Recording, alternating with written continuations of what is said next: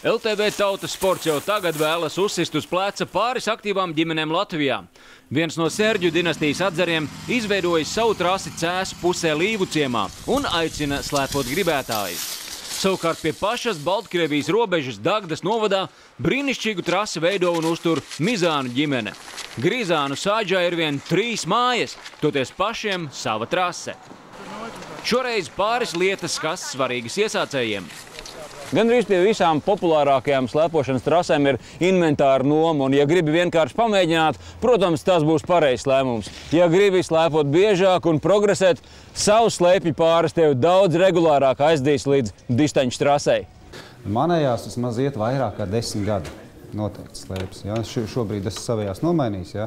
Tad rēķināties, ka zābaki man iet vairāk kā desmit gadi arī pie viss tā, ka es braucu ar vasarā rolleriem ziemā slēpoju ar tiem pašiem zābakiem.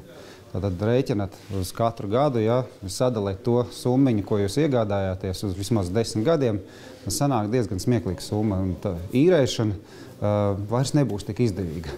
Tie, kas slēpo paši, piekritīs, ka pēdējā laikā lielākoties cilvēki mēģina slēpot slīdsolī.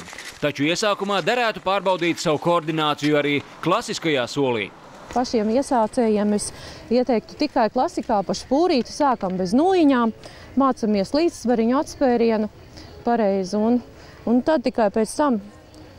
Bet ir arī bērni, kuri jau tiešām ir veikli un visādā ziņā aktīvi. Un ir es pie otras treneris Dacis vēroju, viņi arī maziņi prot slicoli. Un tā kā tas ir dikti atkarīgs no tā, cik viņš ir vispa, vispusīgi attīstīts droši vien arī. Par apģērbu. Ja gaisa temperatūra nav zemāka par mīnus 10 grādiem, tad aktīvi kustoties nenosalsi. Krietni vieglāk ir pārkarst.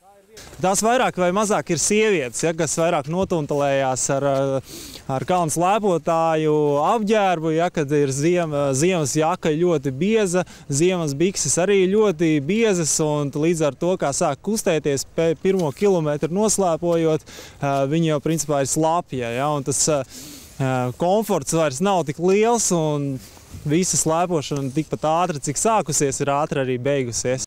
Joprojām aicinām jūs stāstīt par pašu veidotām trasēm, tramplīniem un ledus laukumiem, bet vairāk padomus meklējiet un savā pieredzē dalieties LTV mājaslapā. Ja tu vari uztaisīt ar slēpi šādu, viņa paliks perpendikulāri, tad jau tas būs slicols. Daudz Cerņš Reits, Aivars Erdmanis, LTV Tautas sports.